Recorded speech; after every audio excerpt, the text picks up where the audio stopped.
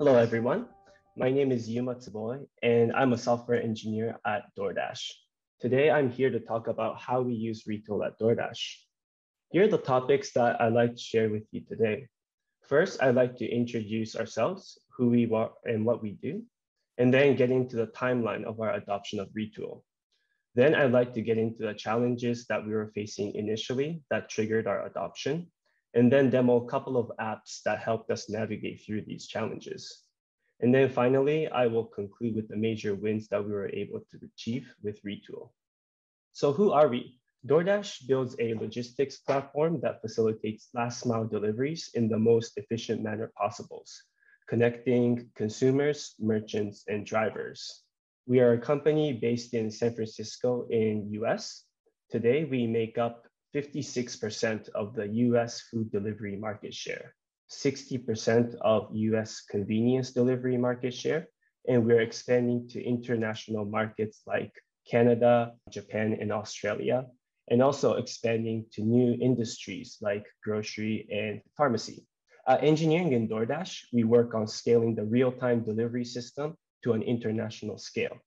Some of the challenges that we've been uh, facing have been to hire faster and faster to keep up with the business growth while preserving high ownership and autonomy in teams and individual, which is the cornerstone of DoorDash engineering culture. Our adoption of Retool, um, it has been an interesting story so far. DoorDash engineering first learned about Retool through a demo by the Retool CEO, David Hsu himself in 2017. That was the first time we had discussion on whether DoorDash should invest in Retool, uh, what our challenges were at the time, and resources that would take for or to make Retool available to at a company-wide level. In 2019, Retool platform was made accessible to all teams to develop internal tools with. Product teams dabble with it as they saw fit. And two years fast forward to today, Retool has become the home of all internal tools for the Drive team, who now boasts more than 40 internal tools on the Retool platform. Funny thing is that also today, it's DoorDash demoing Retool back to Retool this time. So it's funny how things all go back, come back in circles. So the challenges that uh, were faced by the Drive team, first of all, Drive team works on Drive API, which is DoorDash's B2B API solution. And the team is composed about 30 backend engineers. In this team's case, um, engineering hours were being wasted on making manual interventions, such as writing one-off scripts to handle customer inbounds. The front-end resource was very limited on the team because of the nature of the product, uh, which is an API. And the low overhead costs to learn Retool were the main reasons that drove their aggressive adoption. At DoorDash, we push hard for operational excellence. I, and I would like to share some of the tools the Drive team made using Retool to help ensure that operators have the right tools for the task at hand. The first app that I'd like to show is our partnership app. Partnership here means contracts. And so operators and account managers uses this tool to maintain contracts with our restaurants. Food delivery is a operation heavy process that could go wrong in many ways. Our operators ensure great user experience by making manual interventions with this tool whenever there are errors with our automated systems. I'm going to open the app. And also uh, another thing to add is that this is one of our central administration apps um, that allows operator support in real time. And so this is uh, one of our biggest applications of our Retool. And so first thing that you'll notice in this app is that we have a login button. These were implemented to control access to sensitive data, and we are talking about contract in this case. So it's really important that we uh, restrict who can access these tools.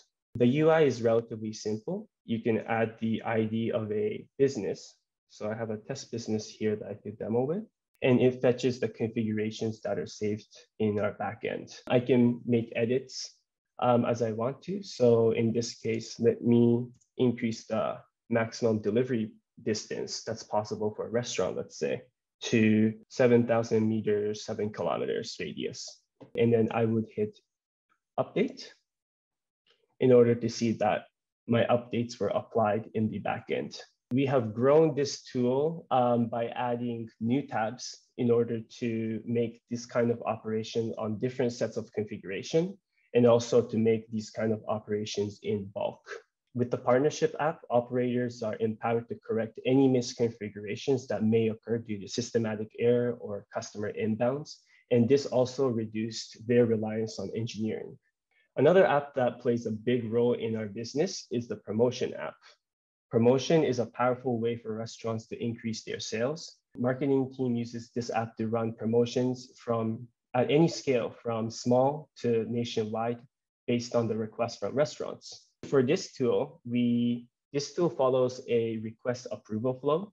And so we have one tool to requ make requests to create promotions and another to approve those requests. So here I will open up the request creation tool for promotion. And here, as you can see, access is limited by user again, and users can enter a title. So let's say retool demo I will set it to a date that's in the future, let's say April 11 of next year to April 12 of next year, uh, who they are for. Um, this is a test ID that I have ready. And users can fill in these inputs. Let's see, test, input date negotiated today and they would click submit in order to create that request. Users can view it by typing when that promotion is going to be applied. So let's put April 11 to 12 again. In order to see that that request has indeed been created. And then there's another side to this app, which is the approver flow that I um, discussed earlier. Um, that one I cannot share due to compliance reasons because it would share all the requests that's made today in production. Um, but that tool will be used by accounting to make sure that that promotion is indeed approved and applied. So with the promotion app, operators can ensure that the restaurants have a way to do business or a way to do marketing when doing business with DoorDash Drive. And finally, I'd like to talk about the wins we achieved with Retool. Firstly, we were able to create internal tools very easily. Its shallow learning curve had our backend engineers spinning up UIs very quickly, and this reduced the load on hiring because we didn't explicitly need to hire for front-end resources. We also found that the version control and permission control in Retool helped scale the usage of Retool along with the team growth. Secondly, we were able to save engineering hours. We were able to decouple engineers from operational tasks by providing operators a self-serve tool. And this allowed engineers to focus on engineering and operators to focus on operations. And most importantly, we were able to further maintain operational excellence by increasing the operator's autonomy and helping them move faster. And that concludes my presentation. Thank you for your time.